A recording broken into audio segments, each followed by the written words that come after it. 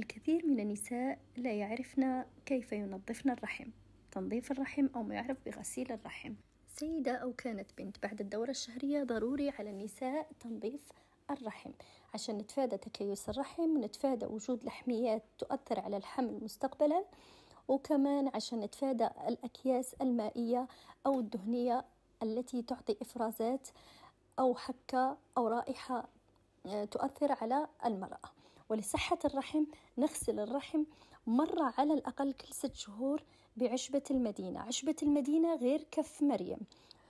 عشبة المدينة هذا شكلها تشبه العلندة قليلا. جدا رائعة. عشبة المدينة تعتبر أحسن وأجمل وأقوى وأسرع عشبة تنظف الرحم من كل الزوائد. وخاصة الدم الفاسدة وخاصة السيدات اللي عندهم سماكة بطانة الرحم تؤدي إلى نزيف فترات طويلة أو خربطة في الهرمونات. مقدار ملعقة واحدة على مية حارة ننقص من الحرارة ونغطيها بزجاج أو سايلستيل لنستفيد من زيوت الطيارة. وتأخذ مقدار فنجان أو كأس صغيرة ثلاثة أيام فترة الدورة. وتبقى الوقاية خير من العلاج. حفظكم الرحمن